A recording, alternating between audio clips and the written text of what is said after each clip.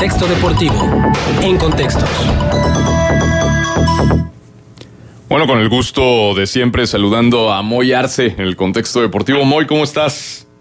¿Qué tal? ¿Cómo estás, Manuel? Gusto saludarte a ti y a Juan y a toda la gente que siempre está muy pendiente de lo que es contextos. Y bueno, rápidamente lo que es el contexto deportivo de este fin de semana y lo que viene para tal.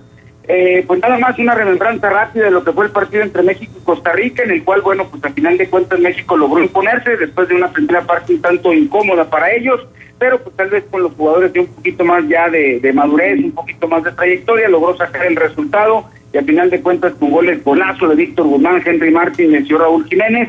Eh, por Costa Rica lo hizo yo Campbell y el señor Brian Ruiz. Con esto, bueno, pues destacar también la participación de los dos laguneros, tanto de Jesús Angulo como de Gerardo Arteaga, dos jóvenes de 20 años que ya están de alguna manera forjando su trayectoria en lo que es el seleccionado seleccionado mayor. Ahora vamos a estar al pendiente de lo que será el encuentro frente al equipo de los chilenos, los andinos, que pues bien sabemos tenemos una espinita clavada después de esa Copa América Centenario 2016 en el que se perdió siete goles por cero con cuatro de Edu Vargas, dos de Edson Pucci y uno de Alexis Sánchez, nada más recordarlo para que pues la gente lo tenga muy presente.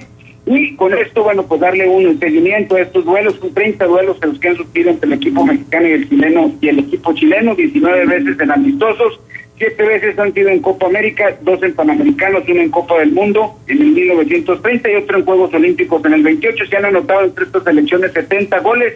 En 10 ocasiones se ha repetido el marcador de un gol por cero. Ocho de los 30 duelos han sido en territorio mexicano. De estos juegos, México tiene siete victorias y una derrota. El revés fue en el 20 de septiembre del 73 con Carlos Casartelli, que fue el artífice de dos de los tantos en esa ocasión. En general, de esos 30 juegos que se tienen de amistosos, 15 triunfos eh, ante los chilenos, 11 eh, para 15 para los mexicanos, 11 para los chilenos, 4 empates. los mexicanos han anotado 32, 32 goles, los chilenos 38 y con esto, bueno, nada más el cuadro que dirige Reinaldo Rueda, que viene de perder también en esta jornada de partidos amistosos de fecha FIFA, 3 por 0 contra Perú. La probable eliminación de la gente del, cuadro del Tuca Ferretti será con Hugo González, Luis Enchaca Rodríguez, Néstor Araujo, Diego Reyes y Jesús Gallardo. En la media cancha, eh, Javier Güemes, Jonathan González y Marco Fabián. Y adelante, Irwin Lozano, Tecatito Corona y Raúl Jiménez. Parece ser que eso es lo que estará saltando a la cancha el día de mañana a las 8.45 de la noche. Para la próxima jornada, regresando al fútbol mexicano, lo que será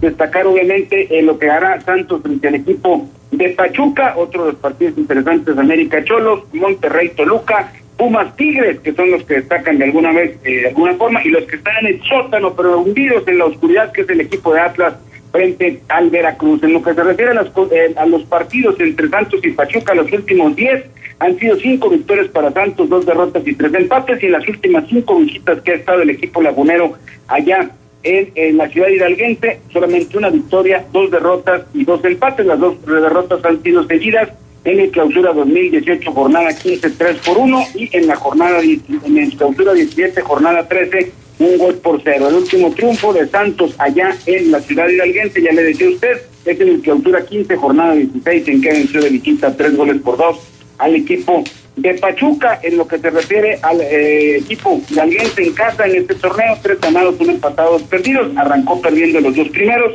después eh, pudo ganar, eh, empató con el equipo de Tigres y la último enfrentamiento fue tres goles por uno frente a Cruz Azul. Así pues las cosas así pintan para el escuadra santista. En el fútbol americano los Steelers vencieron 28-21 al final, la verdad Antonio era una gran recepción y una gran corrida, con eso logra sacar el resultado, parecía que se quedaban eh, en la orilla el equipo de los acereros, los 32 eh, completos de 46 para 369 yardas y una anotación.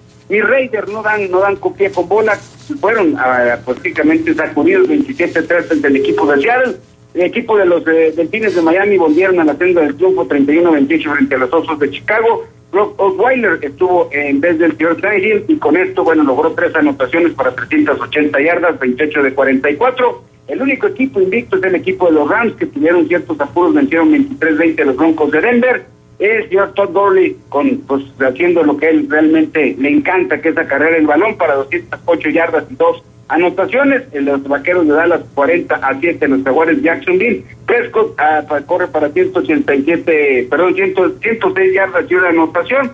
Y eh, con esto, en 24 intentos de carrera, Dan Prescott, Ezequiel Elliott, 24 intentos, 106 yardas de una anotación. Frescos, 17 de 27 para 183 83 yardas y dos anotaciones. Y en un gran partido en la noche, el equipo de los jefes de Kansas City pierden el invicto frente a los Patriotas de Nueva Inglaterra, con Patrick Mahomes de 23 de 36 para 352 yardas, cuatro anotaciones, pero no fue suficiente, ya que Tom Brady, 24 de 35 para 304 yardas y una anotación. Así el fútbol americano, hoy cierra la jornada con los 49 de San Francisco frente al equipo de los empacadores de Green Bay. La próxima semana estarán descansando Green Bay, Oakland, Pittsburgh y Seattle. Así fueron las cosas en el fútbol americano. En el tenis, Nova Djokovic venció 6-3 y 6-4 al croata Bob McCorry y este, se llevó una final más del Master 1000 en Shanghái, ganar tercer título consecutivo y quedar a solo 215 puntos del número uno que es Rafa Nadal al momento. Su cuarto título en Shanghái, 72 títulos en su carrera y 32 a nivel de Master 1000. Está solamente uno del récord de Rafa de Rafa Nadal. Así pues para el Grand Nova Djokovic haciendo las cosas de una forma muy puntual. Y en el béisbol, en la está candente, las series finales de división, las dos están empatadas, ahí en el equipo de los Medias Rojas de Chicago vencieron 7-5 al equipo de los Astros de Houston. Eh, Jack Bradley impulsó tres carreras y con esto obviamente le dio el triunfo al equipo de los Medias Rojas. Eh, el señor eh, Matt Barnes fue el que obtuvo la victoria y con esto el señor Garrett Cole tuvo la derrota en seis entradas, seis y cuatro carreras limpias, dos bases por bola y cinco ponches.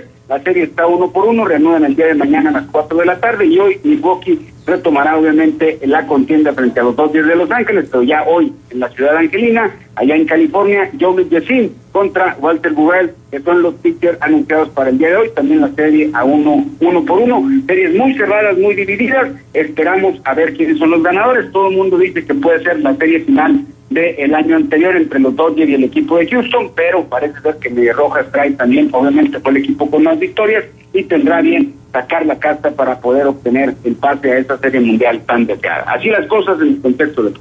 Muy bien, Moy, muchísimas gracias, eh, como siempre, como cada lunes con esa agenda. Un abrazo, Moy. Saludos a todos, buen abrazo y gran semana para todos. Igualmente, por supuesto.